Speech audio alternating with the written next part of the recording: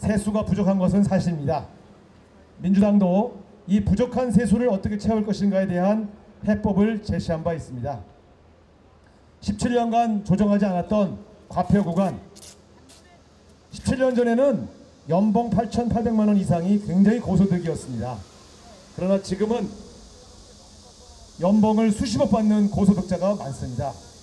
이제 고소득자에 대한 과표 구간을 현실화해서 고소득자에게는 더욱더 소득세율을 상향 조정하고 그리고 지난번 감면해 주었던 대기업의 법인세 이것만 다시 원상 회복해도 1년에 5조에서 7조 가량 법인세를 더 거둘 수 있습니다.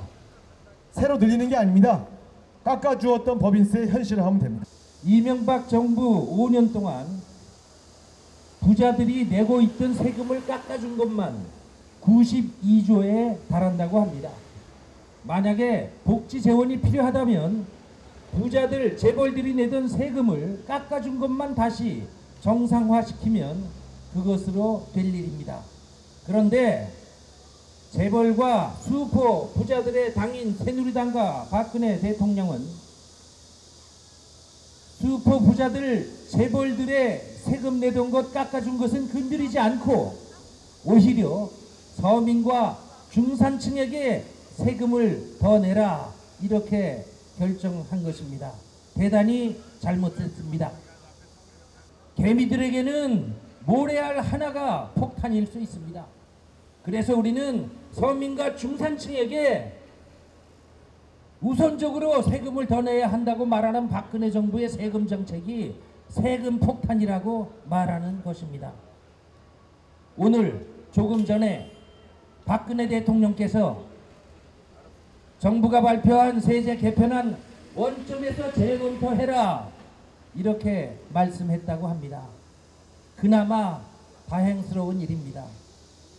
분노한 민심에 대국민 항복 선언을 한 것이다. 저는 이렇게 생각합니다.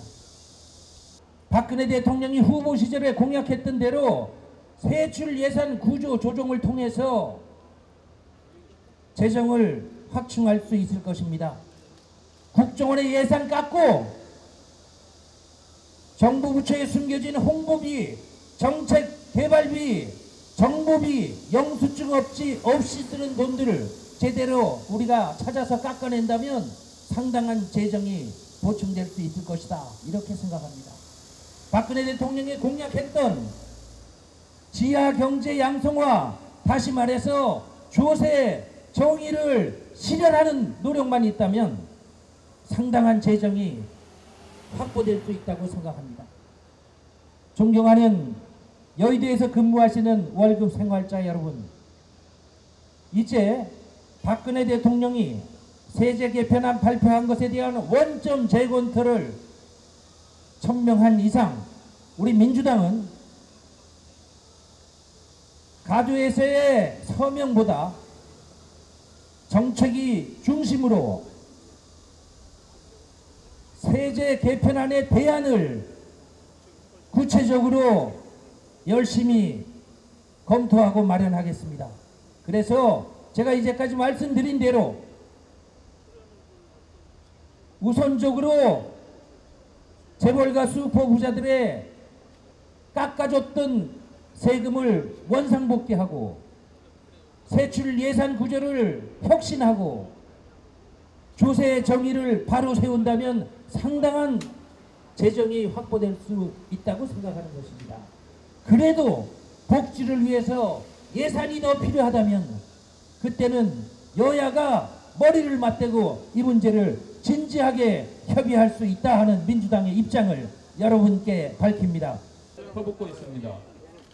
마동민 새누리당 정책위 의장은 몇백만 원이 늘어야 폭탄이지 몇십만 원 넣는 것은